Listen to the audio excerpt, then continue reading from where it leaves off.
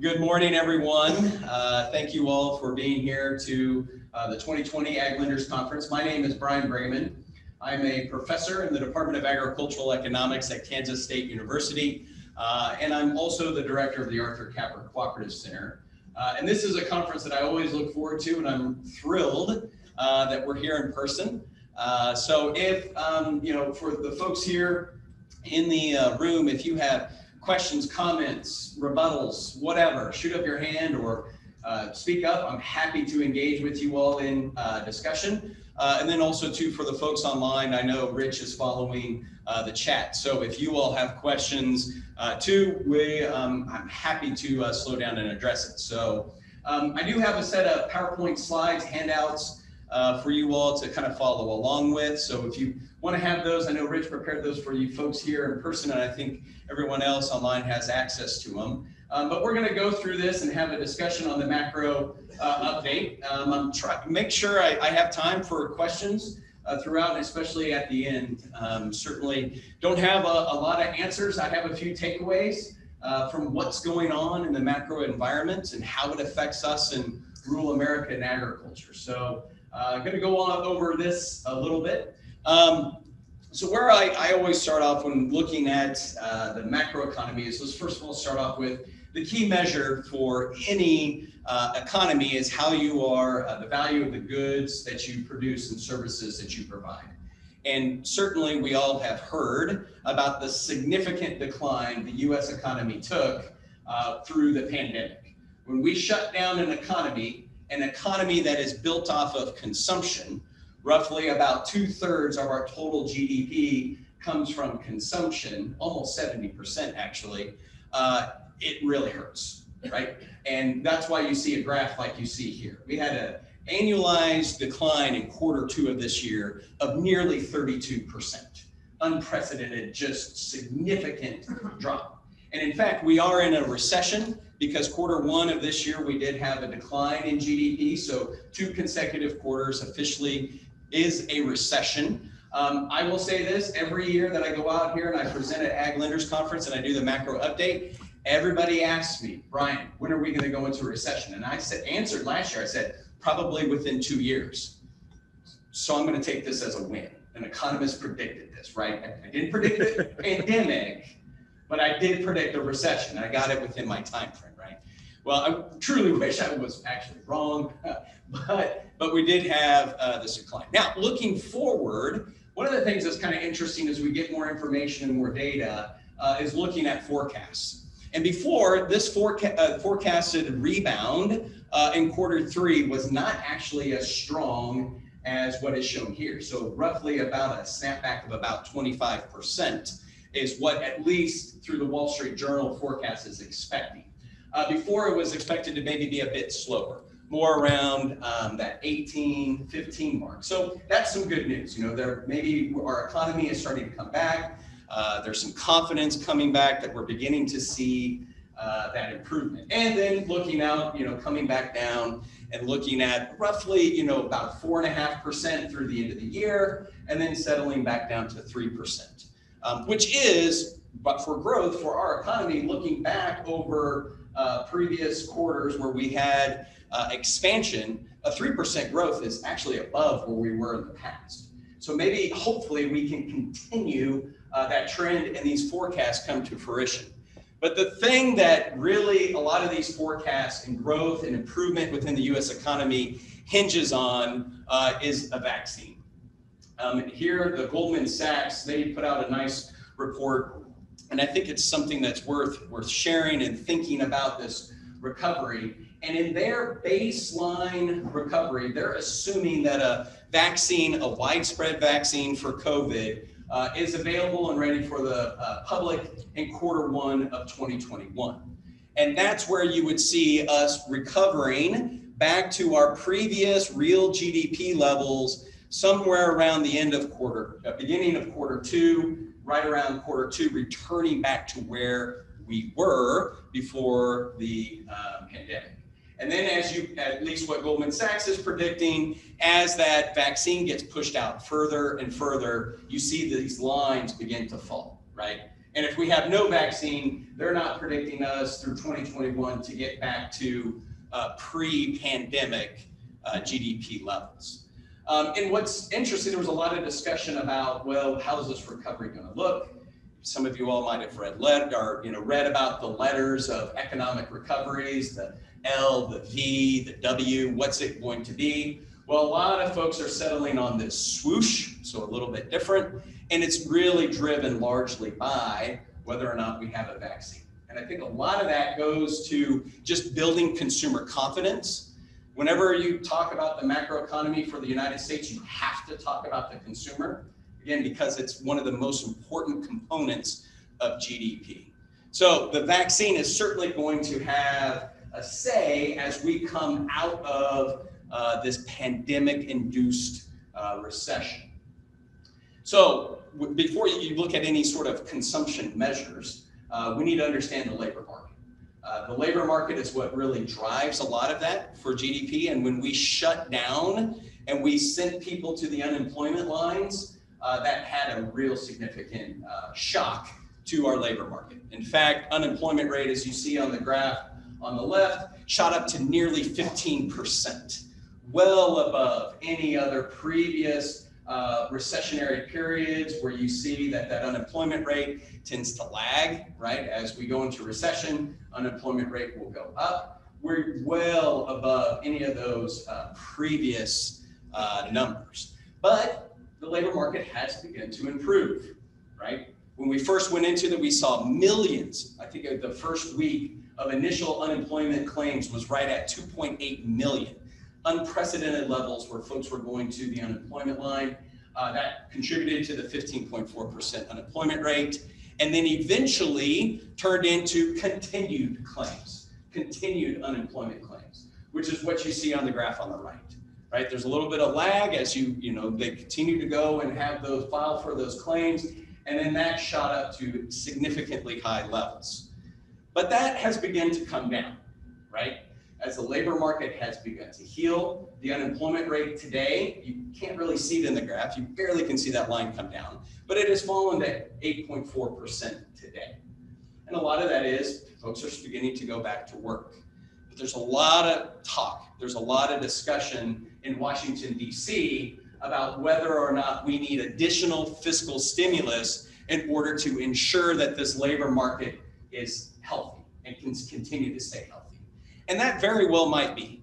But my question that I always ask is like, well, how are you targeting that fiscal stimulus? Where is that aid going? Because a lot of the folks that I work with in the in the cooperative space and then talking with other uh, agribusinesses, if we have uh, funds that are aimed and targeted to that unemployment, why would they, you know, uh, stop collecting unemployment when they, you know, and go to work? If they can continue to have an elevated unemployment wage, that is, you know, sending a market signal to our labor force that might put a headwind on labor market improvements. So how do we send aid in a way that makes sure that we're building up the businesses, right? That businesses can continue to function and offer those competitive wages that are out there. So you see where that continued claims is maybe starting to level off. Um, could it rise again? If we have a misguided uh, fiscal stimulus. I mean, it's possible, right? That is certainly something that could happen. But hopefully, if this fiscal aid does come into the marketplace, it's there to support businesses so that they can continue to operate. I think the Paycheck Protection Program, you know, there are some faults within it, but it certainly had that kind of aim. How do we make sure to provide value back to those businesses, right? The other, I didn't put um, a, a, consumption graph or looking at you know personal consumption expenditures rather. Um, maybe some of you all have followed this before. Uh, a, a, friend of mine, his name is David Widmar with Agricultural Economic Insights. This is one of his favorite consumption graphs that he likes to look at right now as something that is real time, is updated very regularly, and has a rich history of looking back. And that is looking at um, gasoline supply to the market.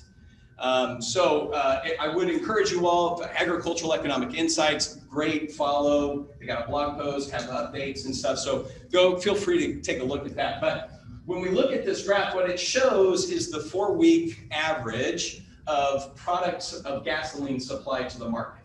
And in a way, this is an implied measure of consumption, right? It's not a direct measure of consumption, but it's implied, right? Because we're supplying gasoline to the market. Generally, it's consumed uh, fairly quickly. So it's an implied measure.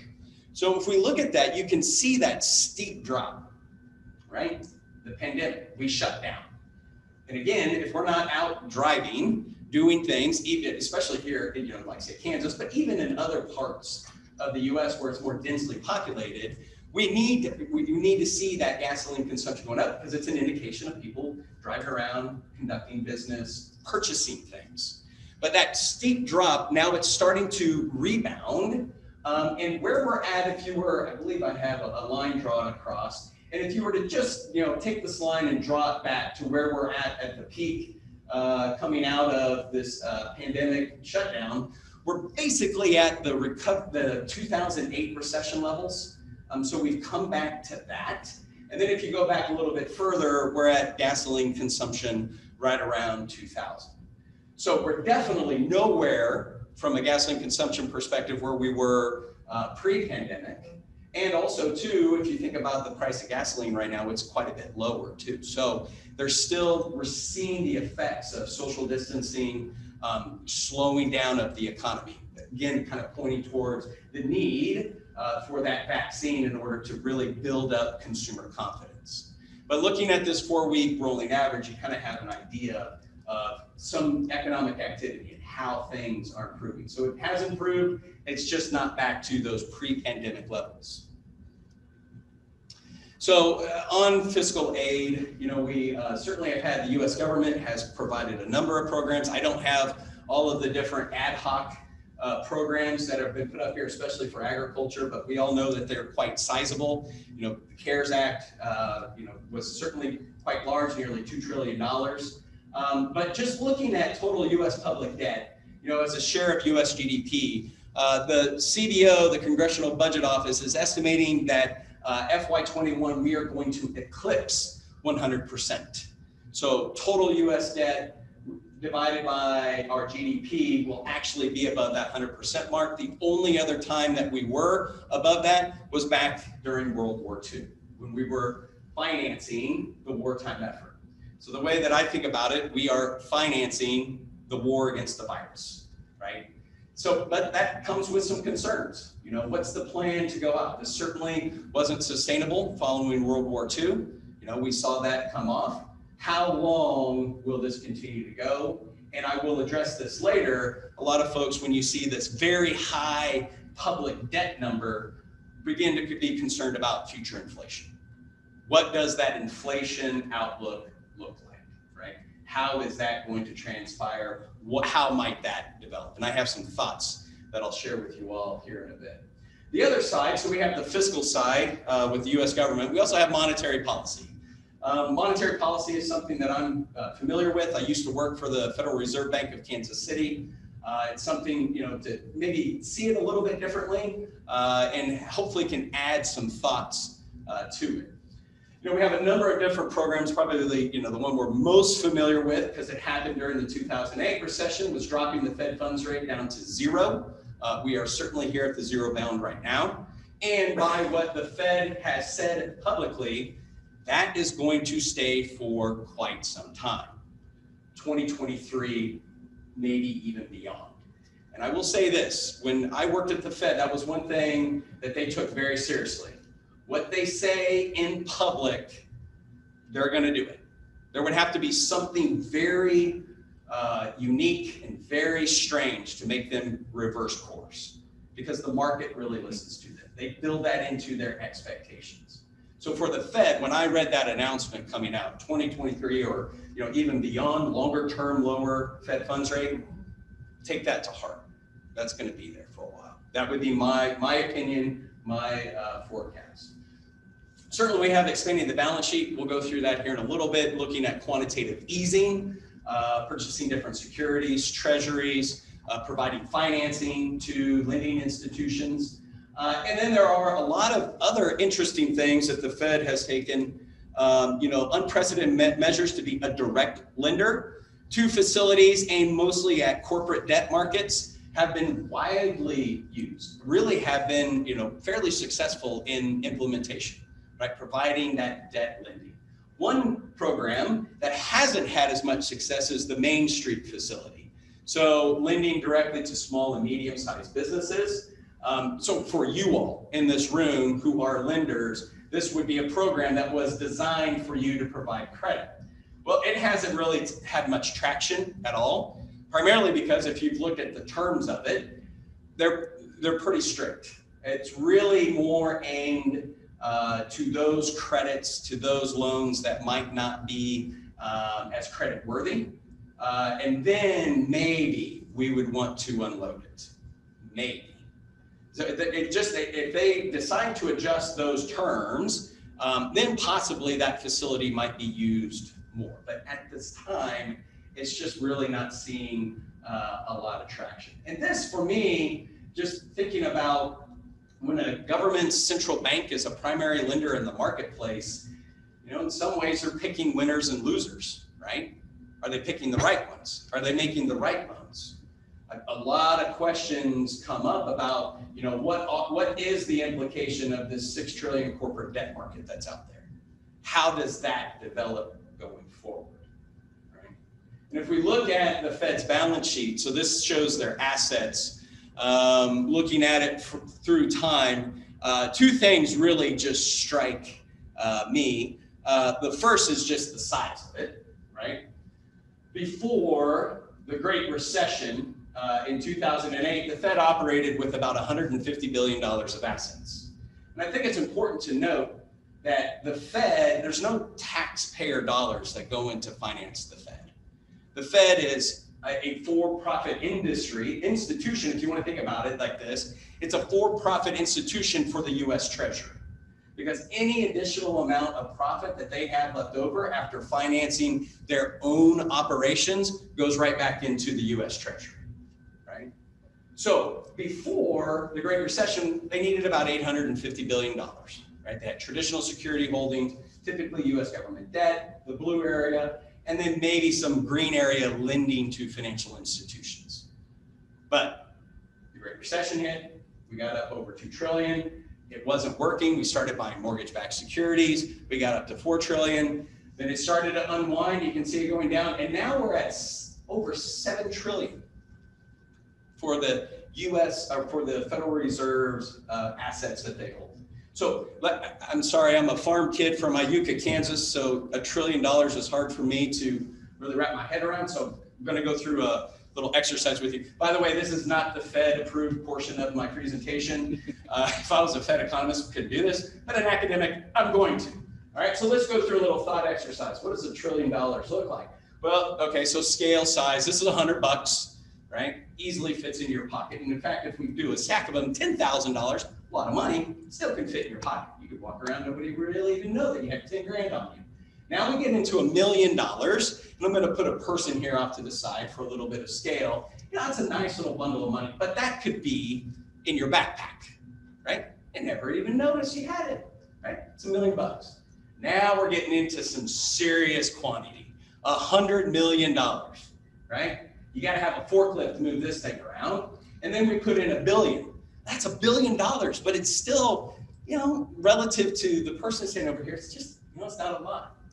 This is a trillion. Notice that the pallets now are double stacked. They go about, you know, roughly 40 or so deep, 40 or so wide. And then we have uh, the person over here off this side. That's a lot of money, right? A lot of funds. And the Fed's got seven of these sitting on their assets, right? huge amount of money, tremendous amount. That being above seven trillion, it's mind-boggling to think about. Now, people always point to is this inflationary, right? Right. The definition of rapid inflation is too much money chasing too few goods. Seven trillion dollars is too much money, right? That's a lot of money, right? Seven. Too much money. The thing, though, that you must remember these assets cannot enter into our normal lending uh, uh, banking, commercial banking system. The Fed controls it. If they were to enter into the marketplace as loanable funds, that's when we would have the chasing piece. And it would be very, very difficult. I don't have this in here um, to show, but when you look at velocity measures that have the monetary base included in it, this is figured into the monetary base, and you look at those velocity numbers and they've plummeted, right? But it's kind of artificially been pushed down, largely because a lot of those assets, those funds that are out there, cannot enter into the normal commercial banking lending world. Okay, so when you think about future inflation, don't think about what the Fed is doing on quantitative easing. What I would think about is the composition, the second piece that comes out of this graph. So we got a, a lot of it, but what's the composition of it? What is the Fed buying? Well, the first is this, we'll go through this red area, right? These are mortgage-backed securities. This was back when uh, Bernanke we were going through the Great Recession. Things were not going along very well. And Bernanke famously came out and said, we need to fix one of the pistons in the US economic engine because it was misfiring. It wasn't working. And what was it? It was mortgage backed securities. That was when the Fed came in and started buying mortgage backs. And in fact, in 2009, they were really the only game in town, really about the only ones who were buying it. Why is that? Why was that? Why did I, send a little hint, why, did, why do I shade this red? I do pick red for a reason. What did we used to call those assets back then? Didn't ha- it had a you know pretty negative connotation to it, pretty negative name. Do you guys remember? Didn't know. You come to a live event, all of a sudden you forgot how to talk. Come on. Let's enter, enter. What, what, what do we call them? Those Sutton assets I heard it, toxic, right? Remember toxic assets? These were assets that were uh, nobody really wanted. They were being unloaded onto the Fed's balance sheet, right? So they were purchasing that. So the Fed was picking a winner. Now, that was the winner because they felt that they needed to fix that part of the US economy. So they were propping it up and supporting it. Um, so for me right now, with additional amounts of mortgage backs are being buying, I, I kind of like it. I just, I'm going through a refinance on my home and all right, looks pretty good. The other piece to look at is the orange area. So the orange area represents US government debt. And when we look at that, and you have, uh, by definition, this is called monetizing the debt. So any country's central bank that purchases its own government's debt is called monetizing the debt. And history has proven to us that stokes inflation. When a central bank purchases its own government's debt, that is monetizing the debt, and it will spark inflation. And that's what the Fed is trying to do. When we are going through these very disruptive periods, they're trying to ward off potential deflation and trying to create inflation. Right? Now, that's not long run sustainable. So, how does the Fed unwind this? We had a little bit of a preview of what they were doing right here. Uh, back in about 2016, 2017, they started to let the securities naturally unwind. And if you look here where it was flat for so many years, all the Fed was doing was we have these existing securities. When they mature, we are just going to reinvest it back into a similar security. So that kept it flat. But the economy, they felt, was going pretty well. Interest rates were starting to tick up. They allowed the, the balance sheet to begin to unwind. And that's the least disruptive way to go about it, right? And the Fed doesn't want to create disruption. So the best strategy for them is to let it unwind naturally. Well, here we are. We're back up to here. So the question is, how long would that take?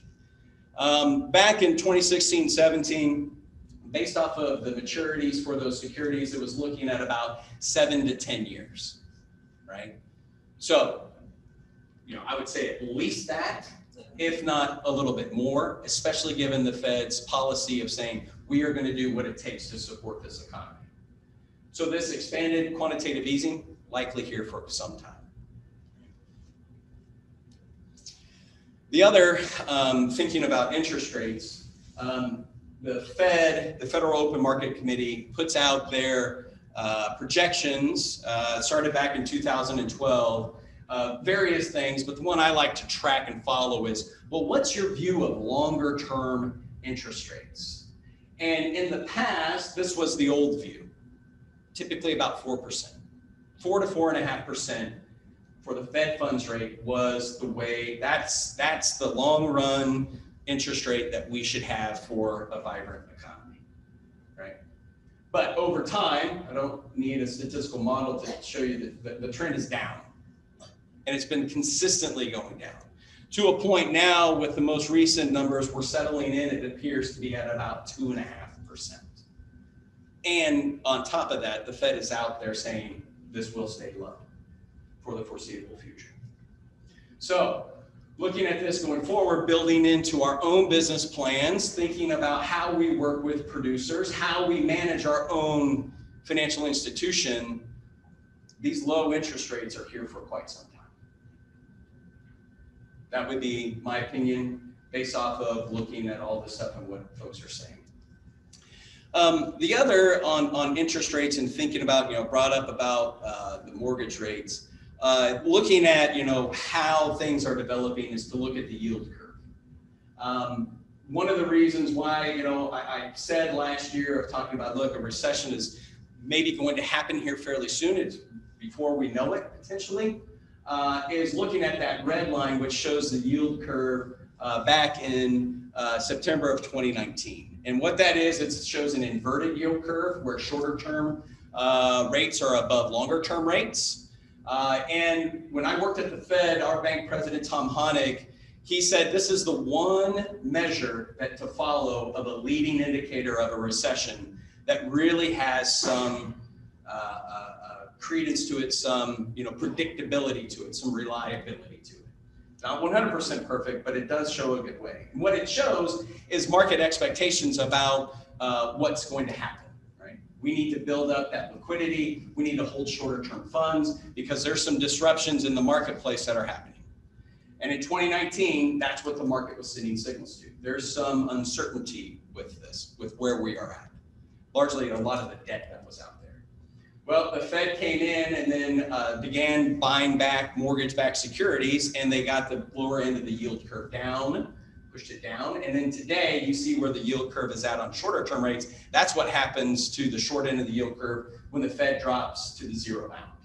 They just push it down, right? So the question I have is this yield curve that we're looking at today, it would tell me that it's normal, but is it really normal? Or is it just a Fed induced normal yield curve? Because all the things that have happened, like going back to 2019, those problems are still there. Haven't gone away. And what we've seen is the Fed has just, by targeting that they can control the low end of the yield curve, have pushed it down. Right? Now, at least from a market signal, it looks like it would be okay, but are there some underlying problems that potentially are Okay, so on inflation, um, you know, we've seen inflation kind of creep up a little bit, looking at the 10-year break-even rate, uh, basically a market rate on where they feel inflation is going in 10 years. Uh, it went up off of the recession, but we are by no means above, you know, in very high territory. Um, so it sets at about one and a half percent.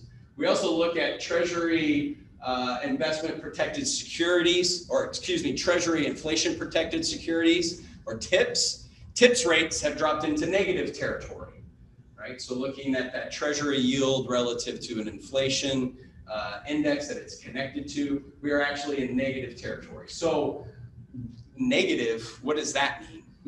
Well, two things it's a signal of. Um, one that it's probably a bigger signal of is a flight to quality, right? Trying to protect principal. So much uncertainty out there in the marketplace we need to go to treasuries, right? That's one indication that would be, and I think that one is more than likely what the market is. The other it could be is fear of future inflation. That they're willing to pay to have the right to protect their principal, at least some of it. That's what it tells us. So those negative tips rates, you know, might be an indication of future inflation. But what are some of the, you know, I, I personally feel rapid future inflation, it, it would be a black swan type event for it to happen. Because I feel there are some significant headwinds leaning on what we would think about as, wow, that's really bad inflation. Like thinking back to like the 70s, right? Um, you know, first is just there's just really no core inflation right now. Real wages have been very flat, maybe have crept up slightly, but we just don't have a lot of uh, wage growth that typically goes with a lot of future inflation. So it goes to concerns within the labor market. Uh, globalization. We are a connected country. Our central bank is connected. The US dollar is so connected in so many different ways that that also is a headwind to inflation. Uh, you know, the economy is struggling. Uh, we have a market that has very well anchored inflation expectations. This 10 year rate being right around 1.5% with all this government debt that's out there and the central bank buying treasuries, and we're still at 1.5%. Market expectations are very well anchored. Um, and then, you know, I, I, just, you know, looking at what the Fed and market is saying, uh, it's just it's such a low probability, like a black swan type. So, what could make that potentially happen? Um, there are some signals. You know, we have the very high public debt with the U.S. government. You know, we have seen some prices of goods and services rise, but are they more transitory? Things that'll be worked out through the pandemic, maybe not going to stay. Uh, I do feel that if we move away from globalization and we have more protectionist trade policies in place, that could lead to it. Uh, that could really push up uh, inflation. And then, of course, the negative TIPS rates that we saw before. So those would be potentially the things that could push us into a very high inflation environment. So um, my, I got four kind of uh, takeaways here for lenders, producers, and businesses of thinking about the macro um, macroeconomic update. Uh, there's a lot of uncertainty out there, a lot, right? And so when we are in an uncertain environment, what does that tell me? What, what do I, how do I think? Well, building liquidity is extremely important. We need to find ways to build up that liquidity. Uh, reasonably manage costs. We can't just cut everything to a point we can no longer operate as a business. We still have to function, but we need to manage our costs, be mindful about that. And then when we go out, look at growth opportunities, we need to scrutinize it. Maybe apply a bit more of a discount factor on that capital investment that you're looking at, because there is a fair amount of uncertainty that's out. The other, uh, with government subsidies that are flowing through, um, how are producers going to use it? What are they going to do with this tremendous amount of money flowing into them, right? If they're building their business plan, or any business is building a business plan of continuing to receive these government payments, that is a very poor business plan, very bad, because you have a change in administration, you have a change in any sort of trade policies, that could all go away very quickly. And so if you're growing and taking advantage of opportunities, thinking that we're going to continue to get these subsidies, that, that's a quick way to get yourself in trouble. Maybe instead use it to build liquidity, right? To get you through this uncertain time. Um, low interest rates, you know, lending margins, look at net interest margin, continue to be low. That's very difficult for lenders in this room, bankers, right? Tight net interest margins, a very difficult way to operate, right? But it's likely here. So how do we continue to work in that environment? And I wish, wish I had the silver bullet for you, but I don't. Like point to it and say something you need to manage and focus on, uh, and you got to find a way to, to work through.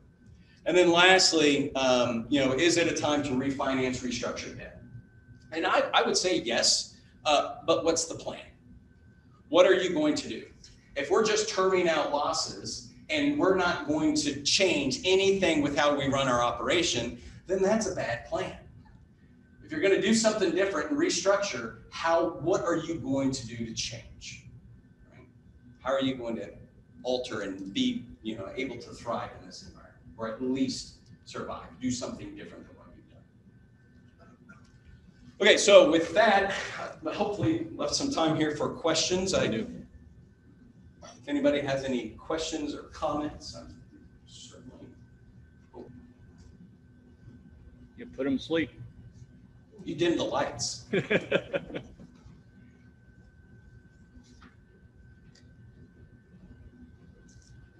So what are you all seeing um, with your with your borrowers?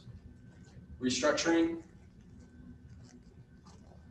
Refinancing lower rates? What are you all seeing?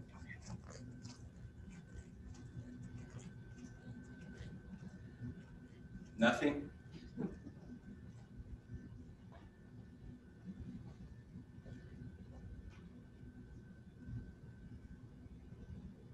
Man, we are out of practice with our live events. Man, it's a good thing Mykel Taylor's on the program. She'll get you guys going. Right, Mykel? Some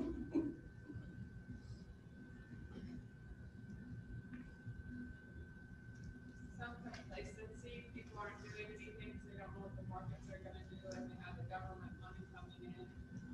So they're just sitting on the great marketing and all of that, waiting to find out what's gonna happen. So we have a lot of producers out there just taking a wait and see approach, what you're seeing.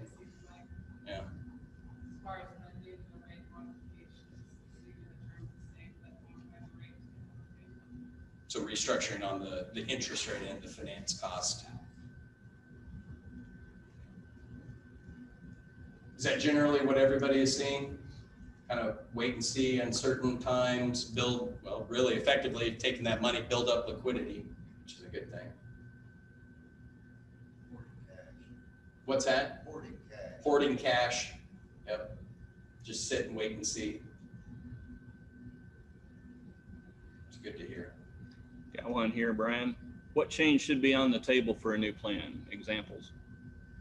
What change should be on for I new? think for your last point there, Oh, Oh, have a plan, what should be, oh, well, um, if it is a situation where, um, maybe it's a particular part of the business, I mean, every situation is unique, but in general, uh, if there's a part of the business that has just been a drag on the operation, it continues to be a drag, but it is, let's call it a sacred cow and you're continuing to finance it from other operations to a point that it has turned into some losses that say set in your operating note. Um, if you decide to term those out, what are you going to do with that part of the business that is not functioning? Are we going to completely get rid of it? And then if we, or do we want to finance it, term it out, or do we maybe want to sell land in order to rectify that situation. But if we sell land, are we going to have a relationship with the landlord in order to maintain that income coming off of it? So there's a lot of different things, but what I would first focus on is what is the part of the business, the operation that is not functioning well? And then consider changing from that right? If you restructure, if you refinance, if you go get rid of that, how are you going to change that part of the business? And I understand for lenders that's difficult because of lender liability. Um, I do think there are services out there that you could point them to. I know K State, we have some of that. I know Kevin Herbel's here with the Kansas Farm Management Association, can have an ag economist walk through some of those discussions. But I understand the sensitivity for a lender to be going in and telling them how to run their operation. But the first thing that I would want to look at is what is the part of the business that isn't working well? there was one more, I think, online. See, everybody's used to Zoom. They're all asking the questions on Zoom. If the Democrats control government after elections, how might that change government support for ag? Oh, the political question. how, how much do I wade off into this?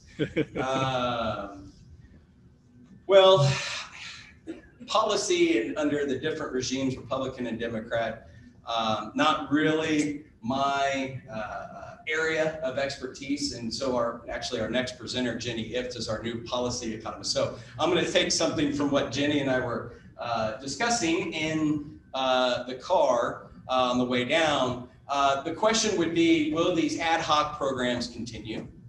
Or will we look more to, you know, with Democrats, where they move more to is uh, conservation programs. Could that happen? Possibly. It's that one, looking into that crystal ball, boy, I do not feel very comfortable with. Uh, But it, I would be wondering about a lot of these ad hoc programs, and then do we focus more on conservation programs? And I gotta take, I gotta give a lot of credit to Jenny for, for having that discussion on the way down. So thank you for that question.